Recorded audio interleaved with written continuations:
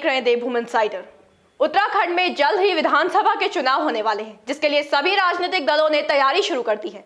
अधिकतर सीटों पर भाजपा और कांग्रेस के बीच कांटे की टक्कर होने की उम्मीद है। चुनाव के बाद क्या तस्वीर दिखेगी, ये तो बात की बात है। लेकिन फ़िलहाल मौजूदा विधायकों के सामने अपनी सीटों को बचाना बड़ी चुनौती है, जिसके लिए वह भी पुरजोर तरीके से जुटे हुए हैं।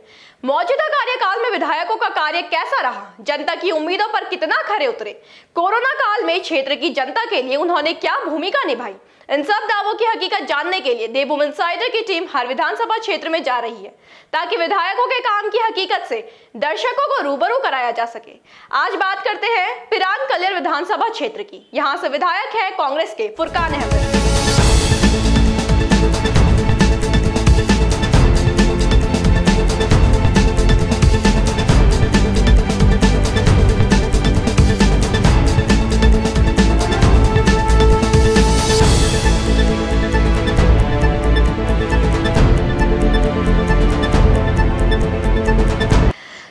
इतिहास। पिरान कल्याण विधानसभा क्षेत्र की मुख्य पहचान विश्व प्रसिद्ध धर्मस्थल साबिर पाक की दरगाह से है, जहाँ केवल उत्तराखंड ही नहीं, बल्कि दुनिया भर से जायरीन जियारत करने आते हैं।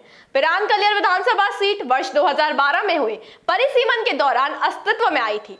इससे पहले इसका अधिकतर हिस्सा रुड़की और भगवानपुर विधानसभा क्षेत्र के अंतर्गत आता था। अलग सीट बनने पर यहाँ हुए चुनाव में कांग्रेस के प्रत्याशी फुरकान अहमद पहली बार विधायक बने। वर्ष 2017 के चुनाव में भी फुरकान अहमद ने ही जीत हासिल की।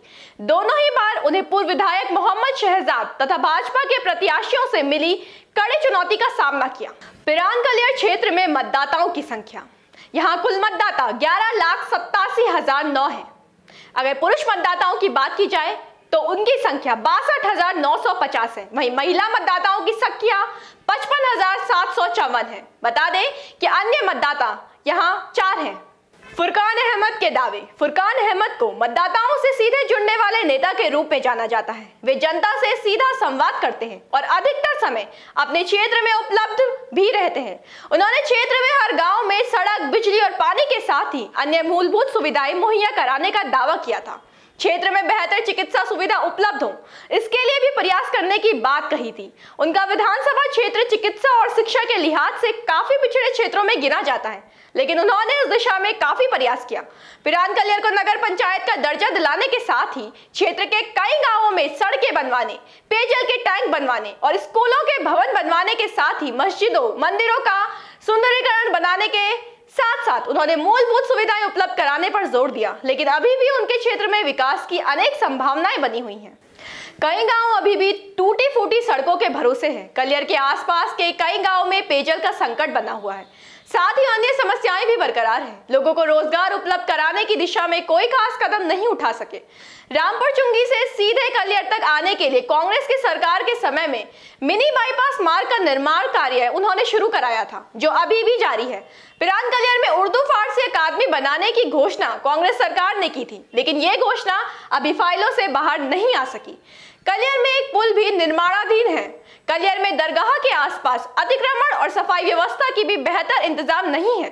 हालाँकि समय समय पर इस बारे में कार्रवाई की जाती रही है। क्षेत्र की प्रमुख समस्याएँ, शिक्षा और स्वास्थ्य सुविधाओं का अभाव, सड़कों की बदहाल स्थिति, ग्रामीण इलाकों में पेयजल की दिक्कत, शहरी इलाकों में खस्ता हाल कचरा निस्तारण। उनका ठीक है, लेकिन अभी कुछ उल्टा सीधा बोलने लग गए हैं, कहने लगे हैं कि की जनता अनपढ़ है, गवार है, ये विधायक जी को शोभा नहीं देता। भैया यहाँ तो चारों तरफ़ हो रही है। अब अब क्या तो क्या कुछ पता नहीं कहाँ बीजेपी हो सके यहाँ तो।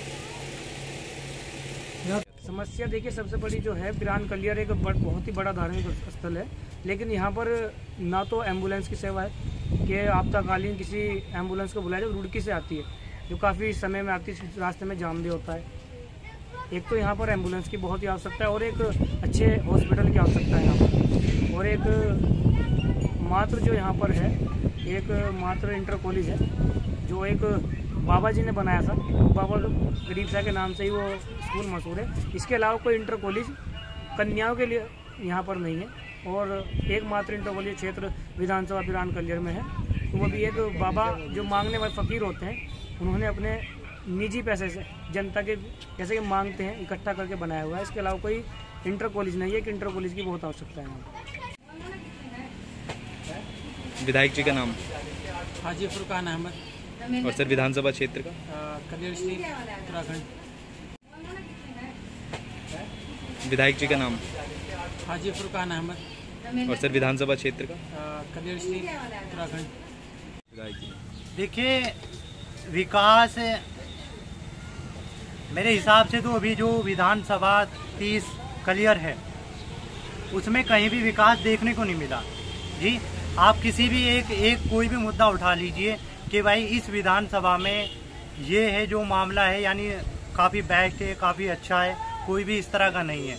हमें तो ऐसा लगता है कि जो विधानसभा है अलहमदिल्ला जो उत्तराखंड में हर जगह एक विकास की लहर देखने को मिलती है, मगर हमें ऐसा लगता है कि भाई जो हमारी विधानसभा है, वो कहीं यूपी में आती है, यानी यूपी से भी बहुत डाउन लेवल पे जो विकास की गति है, वो बहुत हमें कहीं नज़र नहीं आती। अच्छा है, उनका जो दूसरे गाँव में है, वहाँ पे उनका अच्छा कार्यकाल पर कलियर में बहुत कम है। यहाँ पे जो जारी है, उनको अच्छी सुविधा नहीं मिलती। उनको बहुत परेशानी उठानी पड़ती है दरगाह शरीफ में पानी की, रहने की, बहुत दिक्कत का सामना करना पड़ता है। देखिए साहब, अभी जनता का क्या रुझान है, ये तो उनके दिल को ही पता है। बाकी हालात जो है, वो विधायक जी को भी पता है और आम पब्लिक को भी पता है। ये उनकी इस बारे में हम जो है अंदर की गहराई की बात तो नहीं कह सकते, बाकी हालात के हिसाब से पब्लिक खुद देखेगी। देखिए, मेरा नाम इंजीनियर शादाब आलम है और मैं विधानसभा तीस पिरान कलियर जो हमारा ये एरिया है, वो पड़ता है। और मुझे आम आदमी पार्टी ने एक ज़िम्मेदारी दी है इस एरिए में आकर एक मेहनत करने की, जिसको लेकर सबसे पहला जो हमारा पार्टी का अभियान है 300 यूनिट फ्री इलेक्ट्रिसिटी का, उसके लिए हम वर्किंग कर रहे हैं और जिसकी वर्किंग में हम लगभग अभी इस एरिया में बारह हज़ार से ऊपर रजिस्ट्रेशन कर चुके हैं हम। और बहुत सारे परिवारों से जुड़ रहे हैं, बहुत सारी संख्या में लोग हमें अपना रहे हैं और बहुत यूथ हमारे साथ आ रहे है। पिरान कलियर सीट का जातीय समीकरण कांग्रेस के पक्ष में नज़र आता है। मुस्लिम मतदाताओं का खासा वोट बैंक है, जो कि भाजपा के पक्ष में नहीं दिखता। सीट के यह समीकरण विधायक फुरकान के पक्ष में है। विधायक का जनता से बेहतर संवाद उनको और मज़बूत करता है। उनके विरोधियों के पास जातीय और अल्पसंख्यक वोटों के समीकरणों की काट नज़र नहीं आती। हालाँकि सीट से मुस्लिम दावेदार भी चुनाव मैदान में उतरते हैं। मोहम्मद शहजाद जैसे कद्दावर नेता भी फुरकान को चुनौती दे चुके हैं, लेकिन कांग्रेस को अभी तक कोई चुनौती नहीं दे पाया। आगामी विधानसभा चुनाव में भी यही समीकरण इस सीट पर जीत हार के नतीजे तय करेंगे। पिरान कलियर विधानसभा जन सर्वेक्षण के आधार पर असल कहानी कह रहा है। विधायक फुरकान अहमद का रिपोर्ट कार्ड कुछ इस तरह से बनता है। जन लोकप्रियता बी। जन विकास कार्य, बी। जन संवाद ए। जन नेतृत्व बी। Overall grade, B.